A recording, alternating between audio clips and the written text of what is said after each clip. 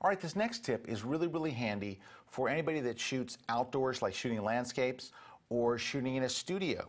The reason why is two of the hardest places to find dust and specks and things on your sensor is in a light blue sky, or even a dark blue sky for that matter, or on a white background or a gray background or some kind of a light colored background. What happens is you completely miss the spots. They kind of blend in until it's too late, until you either print it for a client or you print it for yourself and you realize, oh, I can see spots.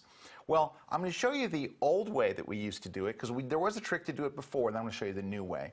So the old way was pretty handy. You'd go to the tone curve, and then you would click right here about the a quarter of the way up and drag your cursor up. All right, then you'd click at the top and drag your cursor down. And then you'd click at the bottom and drag back up. And then you'd take this little point and drag back down. You basically make two hill shapes. And you could start to see, look, there's, there's a spot there, there's a spot there, there's a spot up there. And the more you dragged, if you did three or four of these, you could really come up with a nice way to be able to see the spots. Yeah, see, now you're really seeing those spots. Pull them up a little bit here. And look, there's spots there, there, there, there, there. There's like five or six spots. And those are things that you might have missed any other way. And when you were done, you would just go back to where it says point curve and choose linear. So at least you could see where the spots were and you could remove them using the spot removal tool. But in Lightroom 5, they added something really cool and new. If you go to the spot removal tool and you look over here down in the toolbar, there's a thing called Visualize Spots. So this is designed to help you find spots and specks and junk in your photo. Click on it, and you can see a couple of spots there. But see this slider? This is the intensity slider. Watch what happens when I drag it to the right. Look at all those spots. Look at all those spots I would have missed.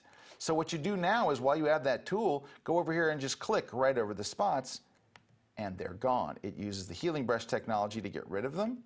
You can click right on them.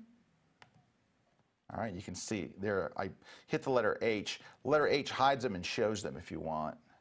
You can get rid of those. Now, this is a real mess up here. What are you going to do? Well, in Lightroom 5, you now have a healing brush. You can actually just paint them away.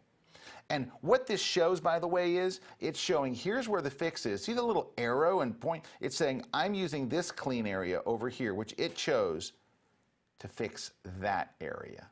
So if you look at another one of these, you can, oh, you can see a little better. For example, let's zoom in. I'll give you a better example here. I mean, I don't need to perhaps zoom in that, that close. You have two circles here. So the thinner, the thicker circle, when you click on it, shows you this is the area you, you fixed. This is showing you this is where the fixing came from. This is the part of the image I used to fix that. And it, when you move your cursor over and you see that little hand, that's in case it picked a bad spot.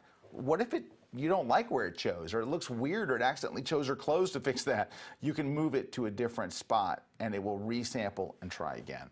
So that's how we get rid of spots today. We use the visualize spots feature and the spot tool and also, again, I, I mentioned this earlier, if you press the letter H, it hides those from view if, if, if that bothers you, and it bothers me, I use that quite a bit. Little H1 just hides things and shows. Because every time you press H, toggles back and forth.